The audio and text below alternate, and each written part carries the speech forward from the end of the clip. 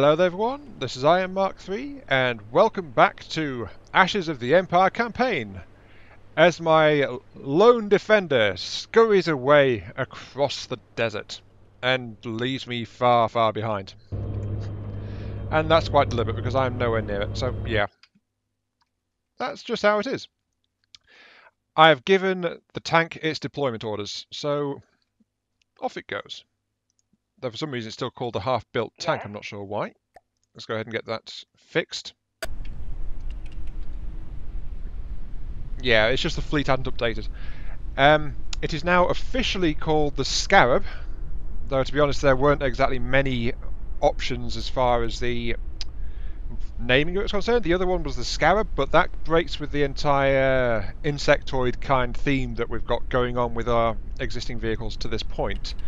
So this is the uh, Scarab MBT, main battle tank, of course. Though it's, I've also called it the prototype because I like this hull. It's a really nice hull, but I'm not 100% sold on the main cannons just yet. So I'm going to have to wait and see how this thing actually performs in a fight using its main cannons, and then just see how it goes.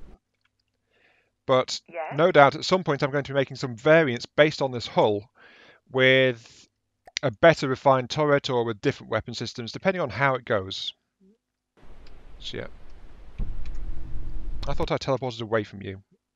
Obviously I did not. Yes. Yeah.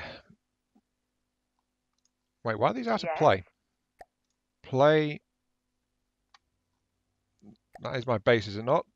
Oh, I was selecting the fleet, not the unit. Okay, that's why. Never mind. Anyway, my progress is doing okay. I've not advanced since last time, except for naming the entire thing. I'm just going to pull that out now. So, yep, off he goes, trundling along at a Yes. whopping 22. And my next order of business is going to have to be getting some more of those suckers out on the field because, well, I could try and build some more Yes. Tanks and things. I can't really afford another Scarab, not as things stand. I've got like half a Scarab's worth of resources. But I don't trust a single Scarab to actually hold back the forces of whatever decides to go after me first. Probably the White Flayers, but, you know, might be someone else as well. All depends on who gets going first. So, yeah. I'm going to be pulling out and skipping time and trying to gather some more resources. Though there are actually a few other things I could be doing now that I think about it. Hmm. Yeah, I'll find something else to do. I'm not happy with my information gathering as it is. And here we go, one little addition to our fledgling empire. I didn't actually bother to record anything while making this because it's not truly a vehicle per se, and it is not complex in any stretch of the imagination, so there was really nothing to show. Everything that you need to see about this thing, I can walk you through like right now, so that's fine. This is a support vehicle, effectively, but it has no AI, no control, no nothing like that, because it's not meant to actually fight or do anything. It's, it's supposed to just sit there and look pretty. I think that's the best way to put it. So let's switch camera and give you a quick look around it. As you can see, the main centerpiece is just a strategic antenna. The point of this vehicle is to gather information. And so for that reason, it is actually just four legs which I've curved to make it look a little bit, little bit better. Rubber blocks on the end in case it ever has, has to touch down for whatever reason. And on the top, it's just this cross bracing of wood, and that's all there is to it really, with a, another central column in the middle. All this thing does is you go into its mode, get the ACB hidden in the middle set up, that triggers the balloon deployers, and I want you to activate every 10 seconds or something like that, just to make sure that if it gets damaged and respawns, it'll do that. And then this is what it does. Off it goes. Flying away into the sky. So I'm just going to quickly save this vehicle as... No, I can, I can delete that. Delete that, yep. As...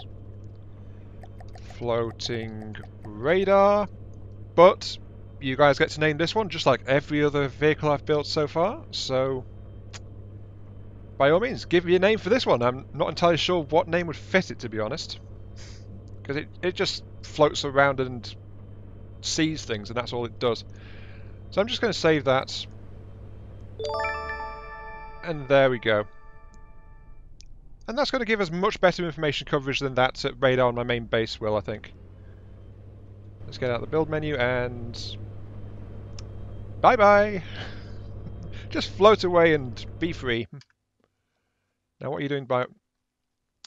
Yeah, uh, that alone is actually showing a 55? Wow! Okay. 36 and there's a... Something over there. A base it looks like. But yeah, th this floating radar is revealing a great deal of information already, and it's actually a very small one. I mean, it's it's only cost just over a thousand materials to make it, so you know, really simple, really easy to do. That's why I didn't bother recording it. Huh. Oh yeah, I, I also thought the worker is coming back without any resources from this load because I also set up the Yeah. uh, Scarab, which is still called half-built tank for whatever reason. I set up the Scarab with its resource priorities, and those are it'll maximize its ammo and fuel, so it'll pull those from anything nearby that's willing to give it. But it'll also maintain half of its resource storage, so that if one of its resource containers gets blown up, all of its resources will still be retained in the other container and it shouldn't really lose much, if any, at all, unless it's picked up some excess from somewhere. Which it shouldn't really, but you know. At the moment, it's just trying to build up its material. 3,900? What? I forget, how much does this thing have? Oh, wait, yes.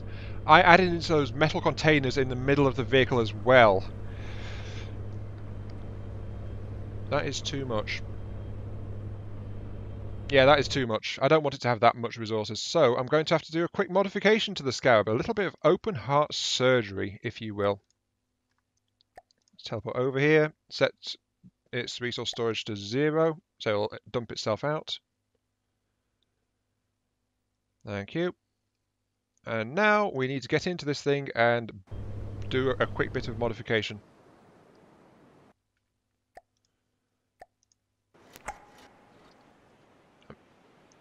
Yep, bit bumpy when it spawned in, but it's okay. Now then. The modification I need to do. These, I don't want these here. So, I'm going to tear them out with metal blocks in their place. Same with these ones here. And that should drop it down to a very small amount of resources. Actually, that's less than I wanted. Uh, where's the forward resource pockets? Here. Wait a second, was that the sum total of the resources? yes, it was. My bad, I want to get some of those back now. Ah, I swear. Let's see, 2,000 resources, yes, that seems reasonable. So I'm going to give you that. Yeah, you can hold up to 2,000 resources, I would say. So I'll put them there. Okay, that should be fine. So how much can you store? 2,000.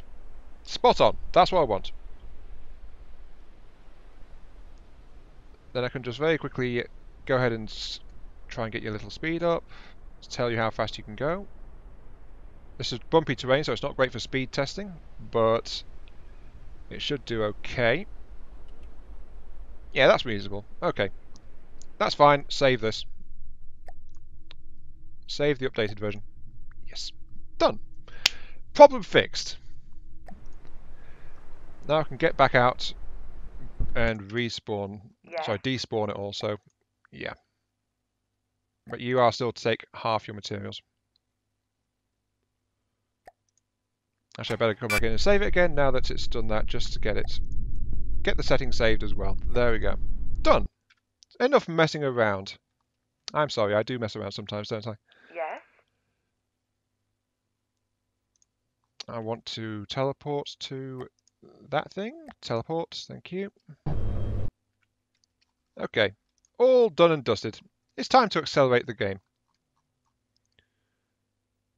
That thing is still rising. No, actually, it's hit its altitude limit now. So pull all out of play and let's continue. Moving out.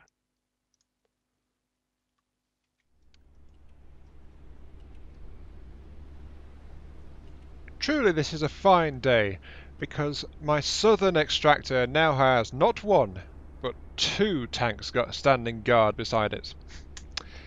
This should be quite helpful, I think. But now I need to think of something else to do. Hmm. Well, obviously, more things that go bang, more tanks. But there is something that I do need to do, actually, that I need to think of. And wow, I am butchering sentences left and right today, aren't I?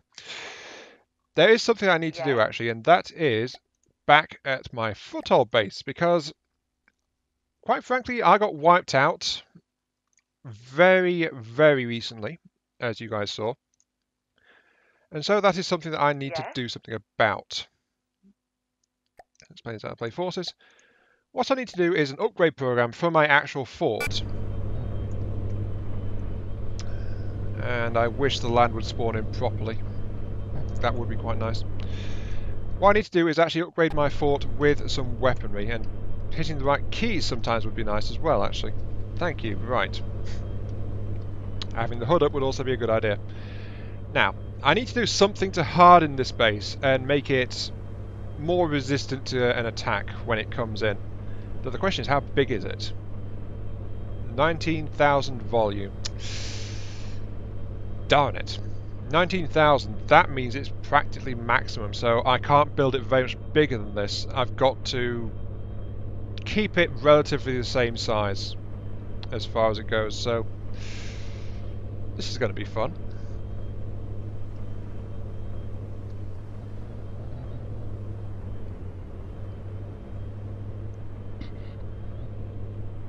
First step to reinforcing this place, I decided, is to move all of the explosive materials from the outside of the base, because, you know, there's nothing to stop them from being hit and going bang, or anything like that. And I've also done the same with resource storage as well. Resource storage has been pulled out as well, and the refinery which was sitting on top of this base has also been pulled off, and I tore out the bar that was in the lower section, and I've used that to replace all of my storage, fuel, sorry, uh, ammo storage, resource storage, and the refinery. So that's all now down there in the centre of the base and slightly better protected. I'm not using these spawners at all, really, so I'm going to scrap those next. Fine and dandy. I rather like the tower, so I want to hang on to that. But with the addition of that new support vehicle, this radar is actually superfluous and I don't require it. So I'm just going to flat out scrap it like that. Bye bye radar. so yeah, this base is looking a bit more compact already. Next step is going to have to be structural reinforcement. So I'm thinking metal armour is probably a good way to go about this. The total volume has reduced slightly, so I'm going to use that as a chance to layer on metal armour around the outside of this base to try and get it to be a bit more durable. So, yeah. Let's do it like this. Do I want to keep windows? Windows are a bit of a weak point. Hmm. Yeah, that's a, that is a thing to mention actually. Windows are generally a weak point in any given design, so keeping them not always the best of ideas. Do you want this solid metal? Sure, let's go for solid metal. Let's do it that. Let's do it that way. I'm going to put a shell around this entire thing.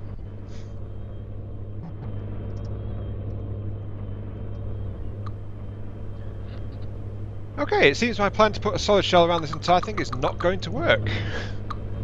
because I didn't quite understand how the volume worked. I was starting to think that maybe the volume limit in this campaign was like, um, this is the entire space this vehicle encompasses. Like, um, I've got this big hollow box and it could still be really, really, really large and it would still be 2000. But no, actually, that's not how it works. These windows are vital. And the reason is that the volume calculation comes from the actual volume used by the blocks.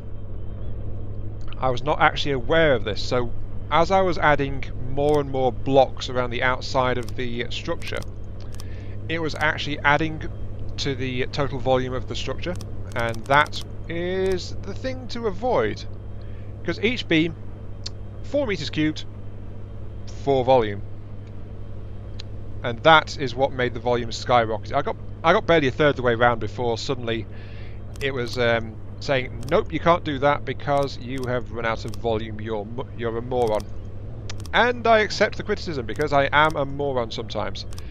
But that also leaves me with reinforcing the structure as it stands as my preferred method to make it um, a bit more survivable, give it a bit more longevity, really. Well, fingers crossed a bit more longevity anyway. What is that? So yeah, total total block count, not a factor. Size of blocks is a factor. Wait, does that mean that um, beams and things? Hmm, this I must check actually. Let's have a quick look. Right. Total volume right now, 1793. 1797. Okay, delete that. Now, give me a downslope. 1795. Okay. So you can increase the overall size of the craft if you use the less voluminous blocks like those that are sloped or half blocks or things like that. That will give you a slightly larger vehicle or building, though it will also reduce how durable that thing is. So there's a definite trade-off going on there and it's something that will have to be kept in mind as I keep going forward. Sloped things, good things. I think that's the uh, main gist of it, isn't it? Yeah, sloped things, good things.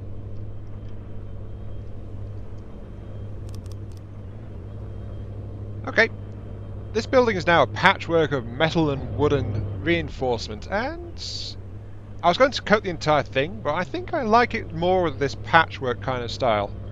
Though of note, I've also found that situated in the top here is where the AI core is for this building. So, and uh, there's a little gap above it where there was actually nothing there, so I just tucked in a local weapon controller, and now I've got a little turret mount on top, which I'm just going to... Well, I'm not going to do anything super elaborate here, I'm just going to whack on a missile launcher. Yeah, whack on a missile launcher, that seems reasonable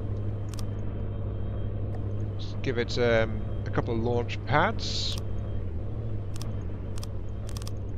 Make, let's make it lopsided just for the heck of it. Yeah, yeah, yeah. This is going to probably go and drive a few people spare, but you know. This thing just has a random six-tube missile launch sitting on top of it now. I like the sound of that. I'll just get this, this, thing beefed up and then I'll call it a day for the video because uh, time is running out a bit and I am definitely flaking now.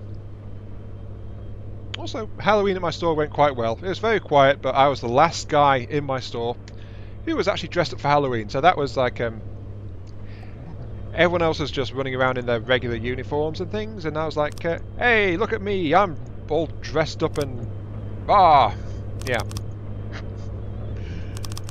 On the bright side, some people wanted to take a picture with me, so hooray for that.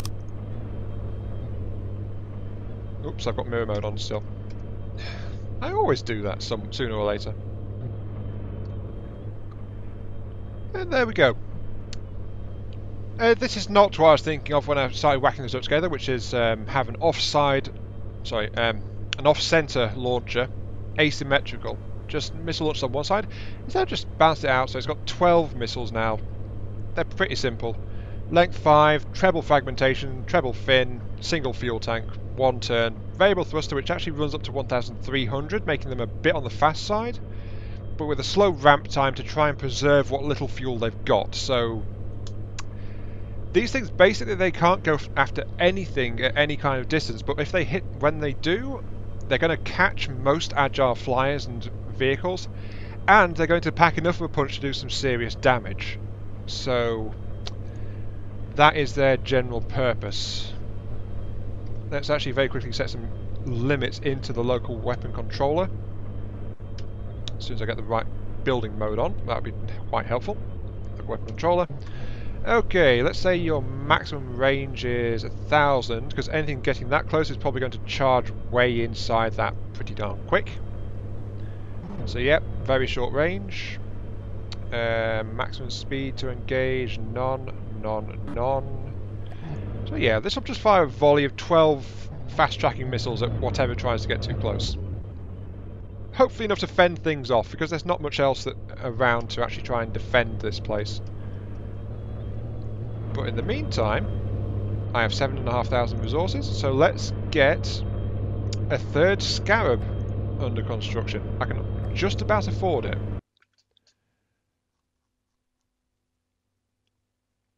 As soon as this supply run gets back from down there, I will have a third tank. So my defense force is definitely coming along. Pull you out of play and start repairing because it still flips out so badly. On my way. On my way. Yeah, go over there. So there we go. That Scarab is getting built up quite nicely. 83% built. And there's been no sign of hostility yet, which I was actually expecting slash hoping would be coming along in this particular video, but it can't be very long. Not really. Oh, no, yes, that thing has sunk down again, so play out play and get back in the sky, if you please. If you guys know how to make um, a vehicle like that stay high, then I would actually like to know because um, I don't know how to. They keep sinking back down which can be a slight annoyance, but yeah, that's just how it is really. But my third scarab is yes. now complete and starting to stock up. No, no, it's not. It's still 10% off. The things were misleading me because it didn't say it was damaged, but that says it's damaged quite clearly up there. Maybe I should start reading the tooltips and things. Might help. But yeah, I've made some progress. My defense force is actually taking shape I've got that new scout uh, balloon drifting around, and my main base is actually slightly fortified now. So I won't be as much of a pushover as I was before. Yes.